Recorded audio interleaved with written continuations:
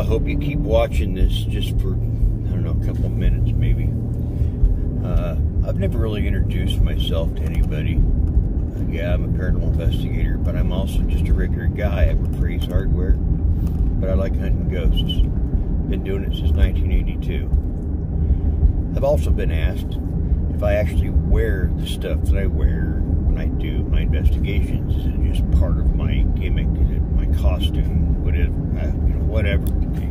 Yeah, I, I this is what I wear every day, except when I'm at work. I wear a baseball cap when I'm at work, but pretty much wear what you see. This is me. This is who I am. Um, I'm part Cherokee Indian. People say you're part Cherokee. You don't look Cherokee. Chuck Norris. So, so take that in mind. Uh, right now, I'm I'm heading to uh, uh, the greenhouse to get some mint. Uh, I grow all my own herbs. I make my own mint tea. I make my own healing properties, different concoctions that I come up with for myself, for my own health. Um, that's kind of who I am. Okay, I got that little errand done. Uh, got me some stuff. I, I, I got me some mint. Uh, I like making my own mint tea. Uh, and that's what I came in here for, was mint. But I ended up getting some other things too. I got, uh, let me see, got some chive. It's looking a little, uh, little on the beat up side, but it, will thrive. It'll be, it'll be fine. It'll, it'll do. Um, let me see here. I got uh, uh, some, some lavender. Yeah, lavender in my little uh, uh, herb garden. I think, why not, right? And then uh, uh, got some more mint here. Well, this is the mint. This is catnip. Mint catnip.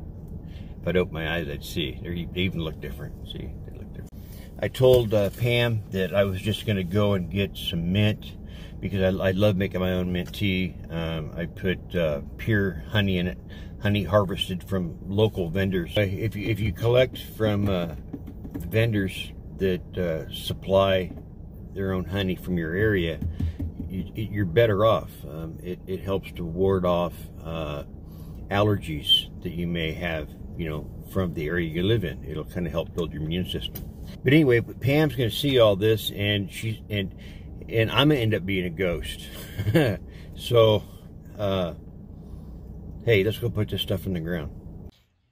Okay, I got my just got my little garden here planted.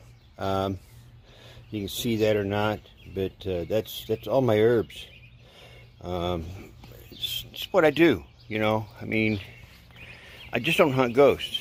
I do other things, like plant my little tomato. This is my little garden my little garden back here. You can see it. There it is. Kind of see it. Hey, it's kind of cool too. Um, raspberries. Everybody likes raspberries. You know, I, I just like nature, man. You know, um, I haven't got a, a big house like I grew up in when I was a kid with a big farm. But I still like, you know, doing the nature thing. I love the nature thing. You know, that's why I do my own composting. This, everything that you've seen in these gardens right here, all the dirt that's in there, came from here. Because I compost my own. I believe in ecology. I also believe in ghosts. So subscribe to my channel, please. There's not always stuff on there about ghosts.